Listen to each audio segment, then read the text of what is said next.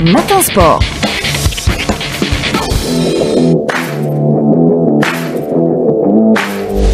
Bonjour, Rostom Yahya Bonjour, Soraya Zentar. Comment ça va ce matin Ça va et vous Très, bien. En Super. forme. On est en forme ce Bien matin. sûr. On entame ce matin sport donc avec euh, la suite de la dixième journée du championnat national avec trois matchs au programme aujourd'hui. Et dont deux à partir de 15h. L'affiche, ça sera Olympique d'Arbou qui accueillera la formation de l'entente de Sétif. Une occasion pour l'Olympique d'Arbou de euh, monter à la deuxième place euh, du euh, podium. Justement, on va écouter sur ce match l'entraîneur de l'Olympique d'Arbou, Moïse Bouakez, contacté par Lotfi Benidira. On joue pour essayer de gagner, on joue pour essayer d'avoir le maximum de points jusqu'à la fin de la fin d'année, toujours avec l'objectif de gagner notre place en Ligue 1 le plus vite possible. On sait que les matchs sont tous très proches, toutes les équipes, ça peut se gagner sur des détails. Donc on se prépare, on se prépare sereinement comme pour tous les autres matchs. Même son de cloche du côté de l'entente de Sétif avec l'entraîneur adjoint Louail Abdeljalil, également contacté par Lotfi Benidira. أكيد النتائج ما هيش يعني كما رانا نحوسوا عليها إحنا والله اللاعبين والله يعني محبين للفريق ولكن رانا نحاول باللاعبين اللي موجودين نحاول إن شاء الله كيف نوجد التشكيلة المناسبة اللي لازم ندخل بها المباراة. امام فريق أولمبيك اقبول اللي راه يقدم في بداية بطولة يعني جيدة نتمنى إن شاء الله أن نكون في المستوى في المباراة هذه ونقدم يعني أداء جيد جدا اللي يسمح لنا للعودة إن شاء الله بال- بالنقاط الثلاث. De leur côté, il y aura à 15h également Aïsso Shlef Nejm de Magara et à 16h euh, l'Espérance de Mostaganem euh, avec son nouvel entraîneur Slimane Rahou qui accueillera la formation de la JS Saoura. Je rappelle que deux rencontres ont été reportées. JS Kabylie Moudia Club d'Al-Bayed et Pardo Athletic Club US euh, Biskra reportées à une date ultérieure. Je rappelle qu'hier le Moudia d'Oran avait fait match nul 0 à 0 tenu en échec par l'USM Khenchela à domicile. Suite également euh, Rostom de la 11e journée de Ligue euh, 2 avec euh, le groupe Centre-Est et Centre-Ouest. On va commencer par le groupe Centre-Est où euh, le euh, leader, le MB 87, sera en déplacement euh, face au CAB de euh, Batna pour tenter de remporter les 3 points de la victoire et euh, creuser l'écart euh, par rapport à ses poursuivants, l'USM Al Harash notamment. On va écouter sur euh, ce match euh, du euh, leader, l'entraîneur du MB 87, euh, Amin Rimouz. Toujours euh, de glaner ces trois points, Inch'Allah, euh. Ce ne sera pas chose euh, facile devant une équipe euh, qui a fait de bonnes performances à Constantine et à Bourg-Mlaïn. Et à domicile, il a battu notre poursuivant Nabal. Nous partons avec l'espoir de, faire un bon match. D'abord, une bonne prestation et pourquoi pas ramener ces trois points comme on l'a fait euh, ailleurs. On compte pas lâcher notre, notre place de leader. C'est tout un plaisir pour, euh, aussi bien pour moi que pour euh, les joueurs de relever ce challenge et de terminer euh, leader, Inch'Allah, euh, pour cette phase allée, pour euh, voir plus clair, Inch'Allah, la, la phase retour. Euh, De son côté, euh, il y aura l'USM Annaba qui sera en déplacement face à l'Olympique de Magran. L'US Chaoui accueillera le Helibeled Chourmelaïd, l'Ittihad Baladiet Khmis El Khashna, euh, quand elle accueillera la JS Bodj Menael. Un beau match entre et l'Union Sportive de Souffle et la JS Djidjel face au MOC de Constantine. Suite de cette 11e journée du groupe 113, ça sera demain à 15h avec deux rencontres. La S-Roup face au MSP Batna et le NRP Larma face au Dauphin, l'USM Al dans le groupe centre euh, ouest. La suite de, de cette 11e journée avec la GSE Elbière qui accueillera le RC euh, Kuba, l'un des prétendants à l'accession. Justement, on va écouter l'entraîneur adjoint du RC Abdel- Hussein Abdelaziz. C'est un derby qui s'annonce difficile, mais c'est une mission qui n'est pas impossible. C'est un match qui va se jouer sur le plan purement mental, sachant qu'on a fait pratiquement en 21 jours, 5 matchs en 21 jours. Contre l'Asmo, là, on a maîtrisé le jeu, mais dans la dernière passe, on a manqué de lucidité. Mais j'espère qu'on sera très lucide et très, très, très concentré. Les matchs de derby, faut pas les perdre. Faut pas les perdre. Si on doit jouer les premiers rôles, faut ramener des points de l'extérieur et ne pas faire d'erreur à domicile. Chose qu'on a, on a pêché dans le dernier match. On a fait un match nul euh, qui, était vraiment à notre portée. Le, le match d'Elbiar se jouera sur le plan de la concentration, la maîtrise. Et Inch'Allah, il y aura un, bon match, Inch'Allah. Euh, la suite des rencontres également à 15h, la Zmdoran qui accueillera la Mchlia et le Ned du Sendé face au Wydad de euh, Mostaganem. 8h20 minutes, on va passer Rostom euh, au handball, deux matchs au programme ce matin chez les dames. Euh, chez les dames, avec euh, le contrairement aux messieurs, chez les dames, la hiérarchie a été respectée à l'occasion de la seconde journée en handball. les détails avec Lotfi Benidia.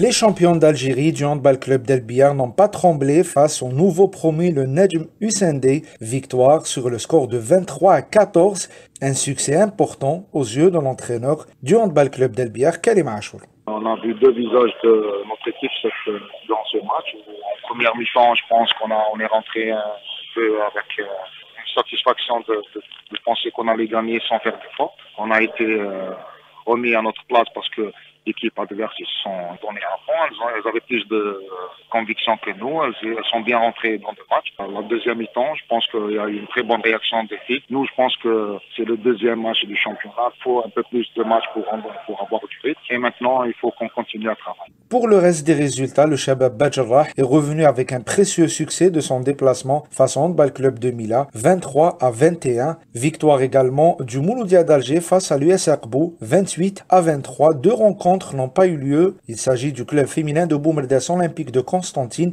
et un RKG Alger CS Mouloud Mamri, alors que pour la journée d'aujourd'hui, deux rencontres sont au programme GS Ouzelagen, GS Ain et NRFC de Constantine, groupement sportif de Sétif.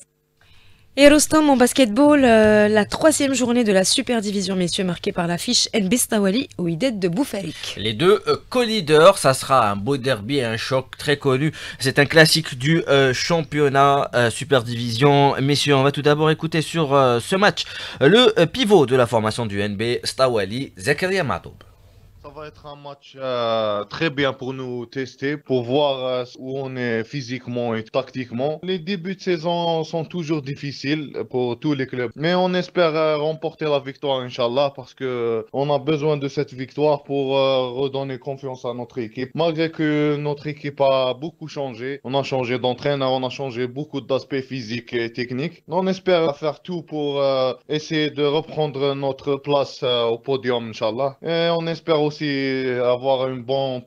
euh, de son côté, le président du WIDA de Bouffard, Khaled Menawi, appelle au fair play lors de cette rencontre un match euh, très difficile pour les deux équipes. On prépare le match euh, comme d'habitude parce que c'est un, c'est un big match. Il va avoir euh, de l'agressivité, de l'engagement physique. Le mieux préparé, surtout sur le plan psychologique parce qu'on est en début de saison. La, fraîcheur physique, il y en a. On va essayer de gérer comme le dernier match contre le Dral. Inch'Allah, on va être présent sur le terrain, moralement et physiquement. Et le meilleur gagne, Inch'Allah, est une fête de basket parce qu'on se connaît, Boufari, Kistawali, c'est toujours un bon derby. Inch'Allah, le spectacle sur le terrain et sur les gradins.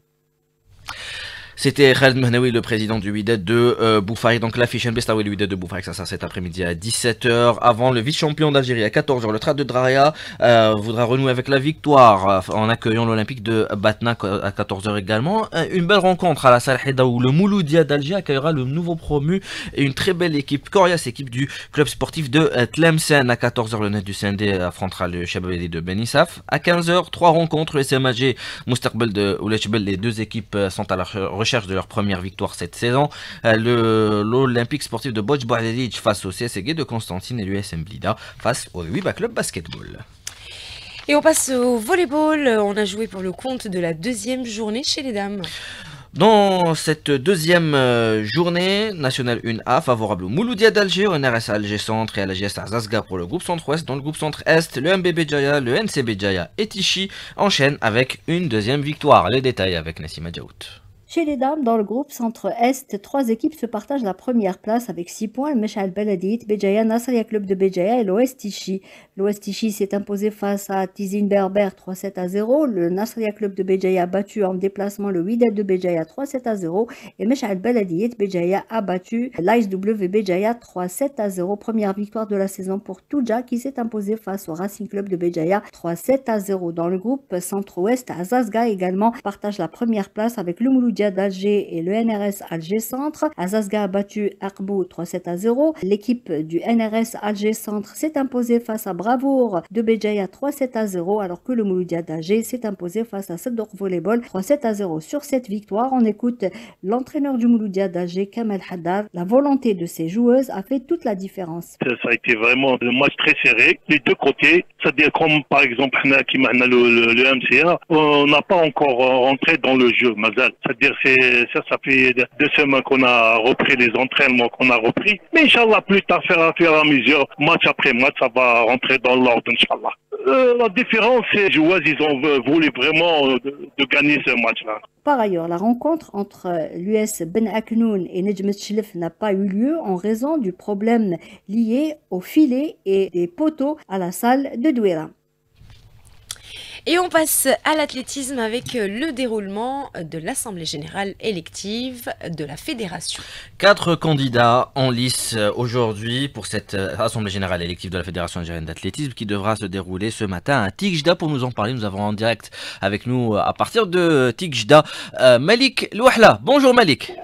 Bonjour euh, Rostom, bonjour Soreya. Donc c'est dans moins d'une heure que débuteront les travaux de cette Assemblée générale élective de la Fédération d'athlétisme. Les membres de cette Assemblée devront élire l'un des quatre candidats en liste, à commencer par le président sortant Yassine Louil. Il y aura également Ammar Bourras, ancien président entre 2012 et 2016, Mourad Ben Slimani, l'actuel président de la Ligue de Médéa, ainsi que le professeur Mourad Mahour Bacha, l'ancien directeur de l'ESTS de Del Ibrahim. Et bien entendu, on reviendra vers vous pour vous faire part des résultats de cette Assemblée générale élective de la Fédération algérienne d'athlétisme Rostam.